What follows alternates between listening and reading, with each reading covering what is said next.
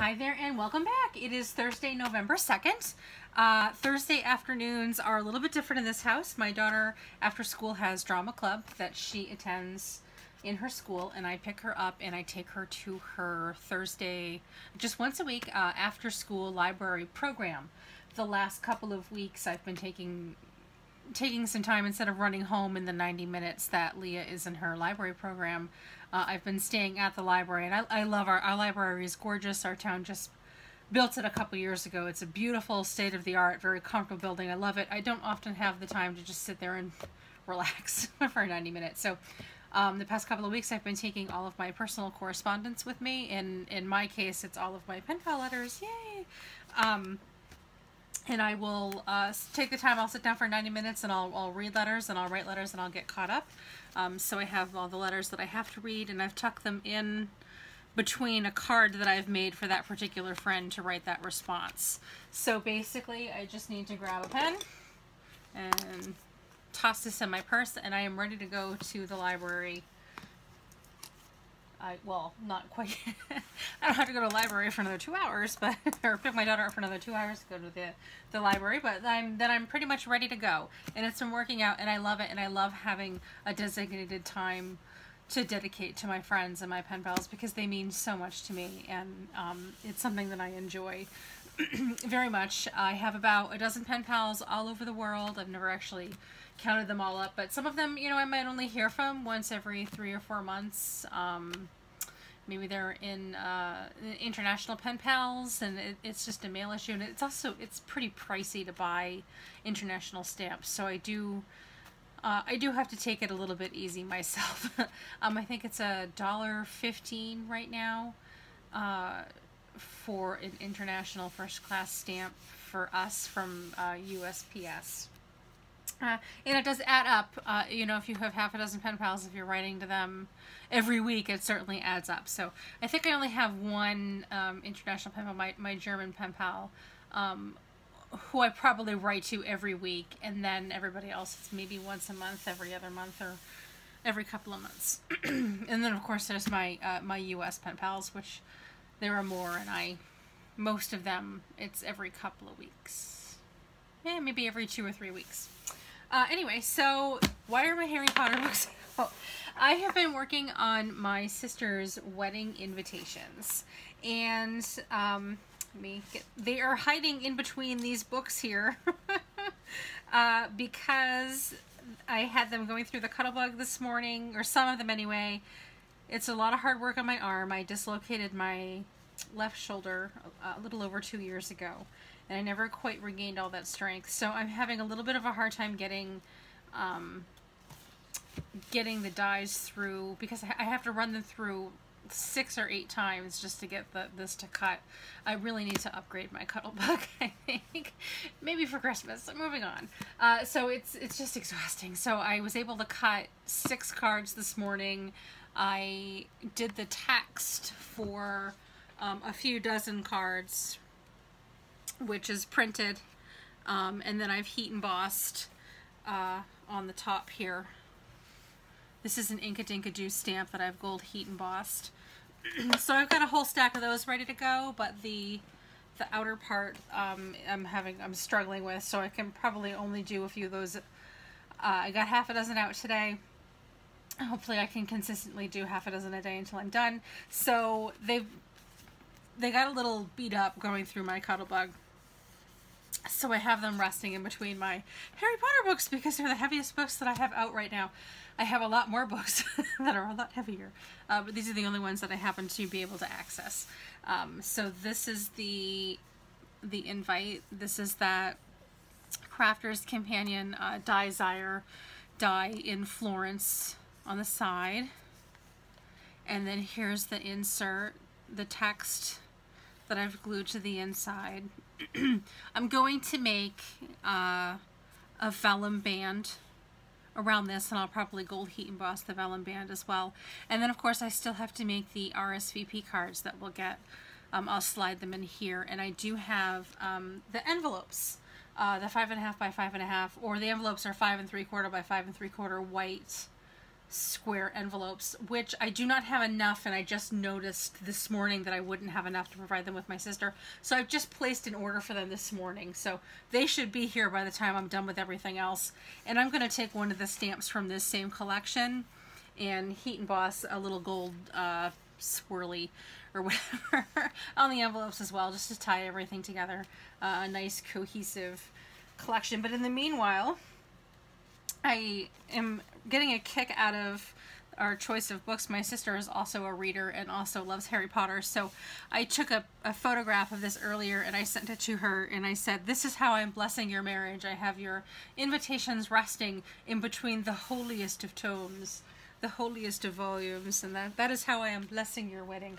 So I just thought it was really cute to think of it that way. My little, my Harry Potter, Harry Potter loving sister.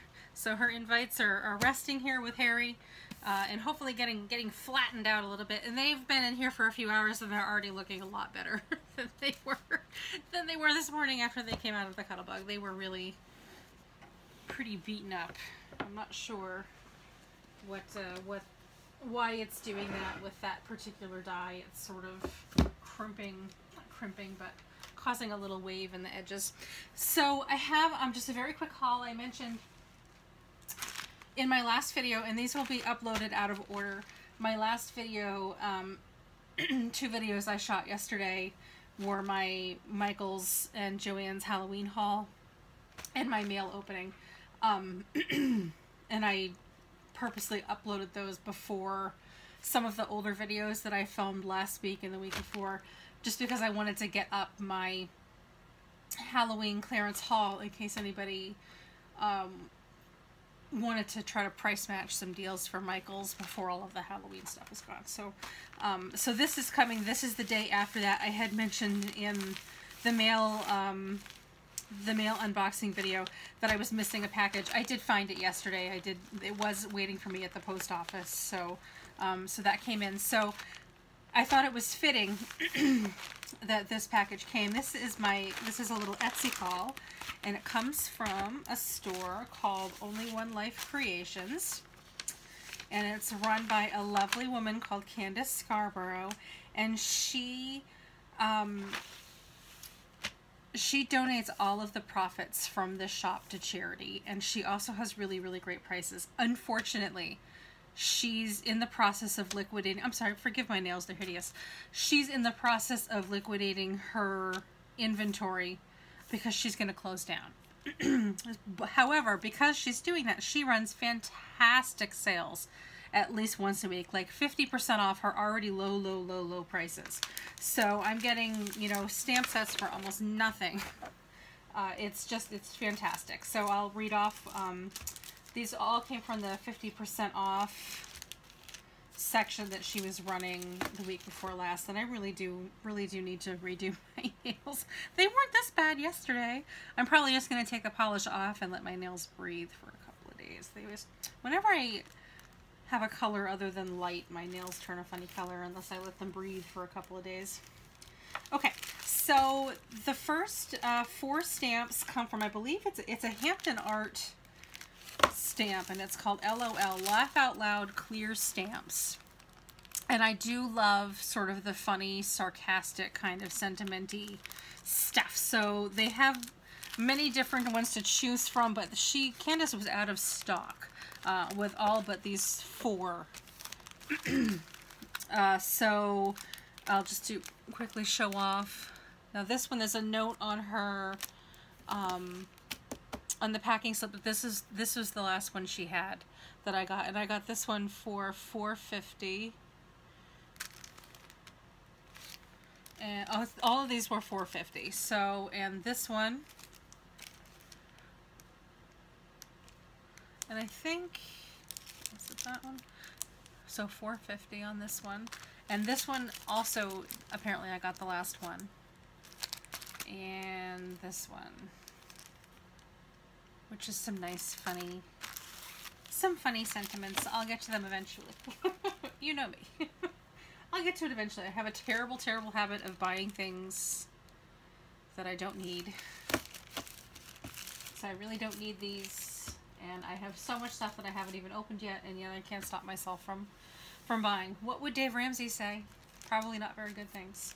Uh, and the last thing I got this particular run is this adorable clear stamp set from Hero Arts with the mushrooms, which remind me of a friend.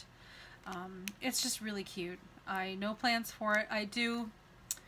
I have a new love and a new appreciation for Hero Arts uh, for the, for the quality of their their I per, in particular I love their layering stamps, but everything else. So I've just been kind of picking up Hero Arts here and there when I see it.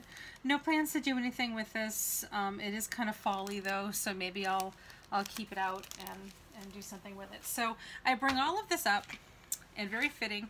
All of this comes from One Life Creations, and I'll link her, I'll link Candace's store down below. She also has a YouTube channel, so check it out because she'll post before her sales go live what the deal of the week is. And you can't, you just can't not buy from, from Candace. Some of her, like, full stamp sets will be less than three dollars you know two dollars something for stampendous sets and so on and so forth so you can't you can't beat it. Definitely look into it. So it, it's poignant because I'm going to do some Distress Oxide inking this afternoon for you. I'm going to show you how I do my ocean um, backgrounds because I have so, a need for a few ocean cards. And my Distress Oxide inks, both sets of them, I bought from Candace. Uh, she sells the whole set, to the whole set together, the first and the second release. She also has versions, I believe, where you can get the re-inkers as well. You will not find a lower price anywhere on those. She's fantastic.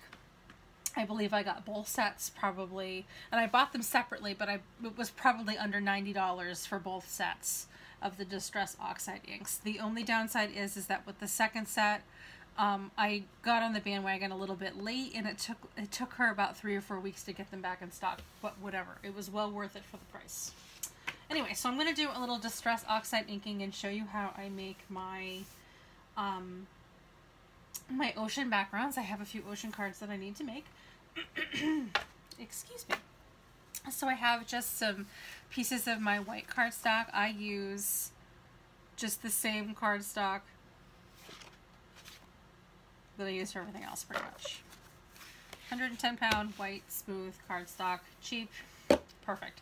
So for Distress Oxide inks, I'm going to be using Cracked Pistachio, Peacock Feathers, Broken China, and Salty Ocean. And I start at the bottom. Well, okay, I'm going to do two of them horizontally and two of them vertically. But I'm going to ink them all at the same time. Pretty easy. So I start at the bottom with my darkest color, which is going to be salty ocean. And I work my way up. This is my, just a piece of scratch paper that came off the printer. Um, I can't really use it for anything else because it printed irritatingly enough some stuff on it. So, and I work directly on my table, my desk.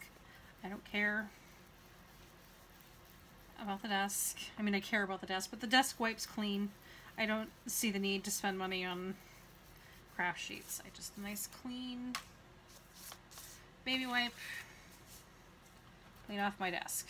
As long as I don't get it on my fingers because it's really hard to come off. I have some lava soap, but it doesn't quite, for me anyway, it doesn't quite 100% get all of the ink off my fingers and it's really irritating especially if I have to go out into public today at the library and you know what inevitably happens when you are somewhere in public is you run into somebody that you're not preparing to see. you're not prepared to see. And for me, it's usually one of the other mothers.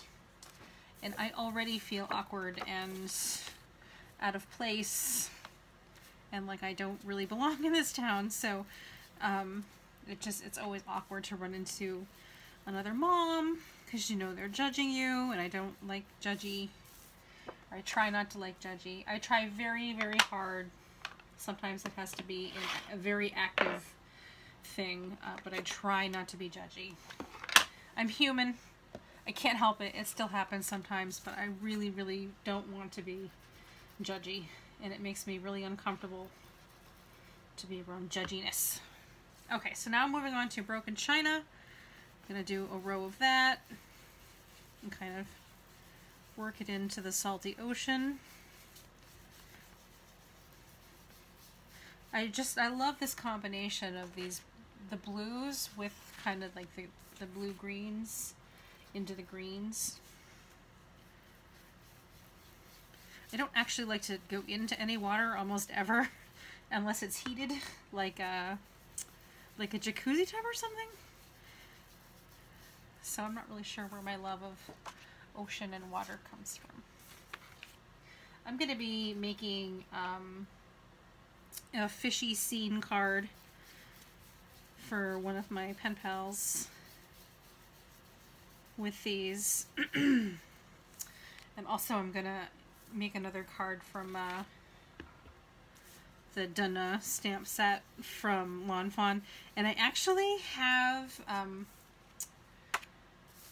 another Lawn Fawn set that I just kind of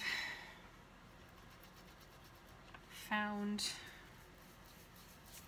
I forget what it's. I'm trying to remember what it's called, but it's it's got a fish tank and stuff, and I've never actually. I don't really even know why I have it, but I like some of the components that go with it. So I think I'm gonna use some of those to make kind of like an oceany,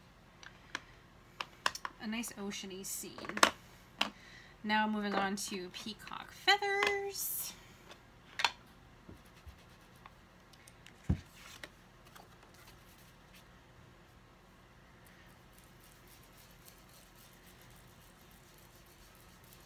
There are lots and lots and lots of different ways to make an ocean background.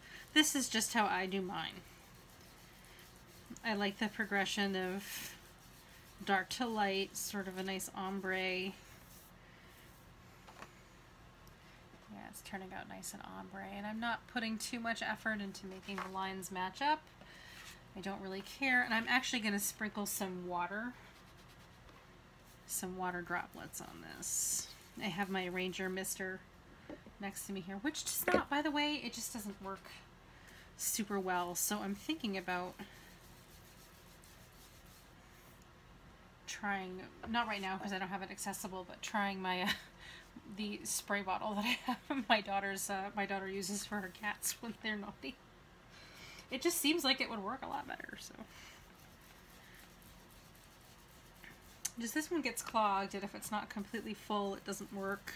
I don't know if it's just malfunctioning or or whatnot, but often I have to physically pull it back up to get it to prime again. These are coming along. This is going a lot quicker than I thought it was going to. I think I'm not, I don't need any yet, but I think I'm probably maybe a week or two away from making some galaxy backgrounds as well. That's the other thing that I love making. And my husband loves galaxy backgrounds too. Oh my goodness, some of my uh, my Velcro piece came off. It's irritating. And at last, cracked pistachio. Beautiful color. Beautiful green color.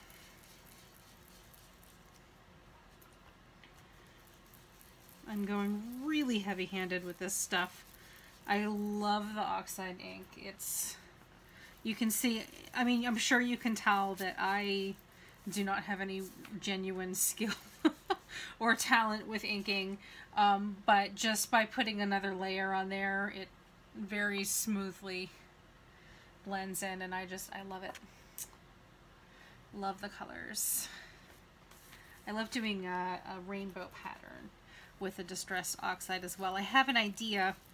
I'm kind of um, working on my designs for my Valentine's 2018 collection, and I have an idea to do kind of a an adult unicorn rainbowy um, Valentine's Day card this year, and I'm like, oh, you know, another excuse to make to make a rainbow ombre with my distress oxide inks.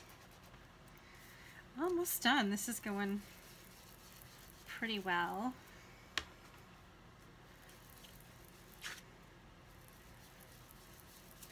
I probably put too much pressure on these blenders and the foam because my foam, I don't know if it happens to anybody else, but my foam, my foam disintegrates after probably a couple months of use. It just, it starts to fall apart. I don't know if that's just me, but I also, if I do, if I'm making, you know, four of them's not that bad, but when I'm doing like a dozen backgrounds for ocean or galaxy or whatnot, um, I'll get blisters on my fingers from holding the the blenders, so I, I suspect that I'm holding them too roughly. I'm being unnecessarily rough.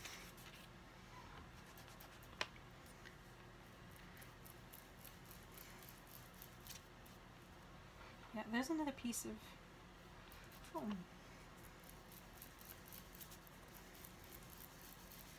Hopefully having this piece of scratch paper underneath my left hand will mean that I'm not quite as stained as I do. Probably don't have time this afternoon to shower and scrape everything off. I'm gonna wash my hair today if I don't have to. Tomorrow's hair washing day. I've been trying to counteract some hair damage from being um, heavily over dyed most of my most of my adult life, my hair, by just washing it once every other day instead of every day. So that's it, and I'm just going to take an unscented baby wipe and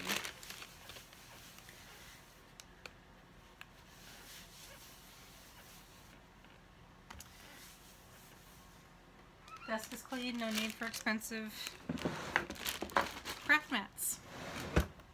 And I'll save that for another time. So there we go. That is, I just made four ombre ocean backgrounds using the Distress Oxide inks. I love them. Um, you know, I've not cracked out my actual Distress inks. I have all the cubes in a while because I've been so into the Distress Oxide. So I think I'm probably going to force myself to do a project with them soon.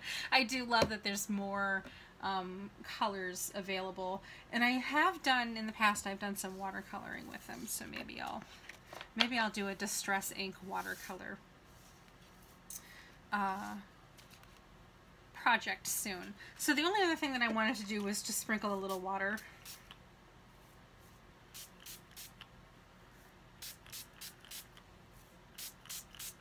and kind of let it sit. I don't I'm just doing a little bit of water, not really enough to warrant cracking out the watercolor paper. Just missing it. I'm not really thoroughly soaking. I am not going to bother heat setting this because I don't need to. I have to get up and and do some stuff that doesn't involve needing the desk space or needing this dry pretty quick. So I'm probably just going to let these dry naturally right here. And I'm going to go start my dishwasher and change over a load of laundry and um, probably vacuum out the rabbit's cage. Uh, just to do a few a few chores before I take off to go get my daughter and then spend the rest of the afternoon at the library and then come home and make dinner. I hope that this uh, gave you some ideas, especially if you're kind of new with Distress Oxide inks or maybe not very good at them like me. As you can see, even I was able to to blend them to make something nice. And I'll show off my completed projects, um, my ocean cards, a little bit later when I actually work on them, which probably won't be till tomorrow. I'm going to let these dry. Uh, thanks and take care. Have a great day.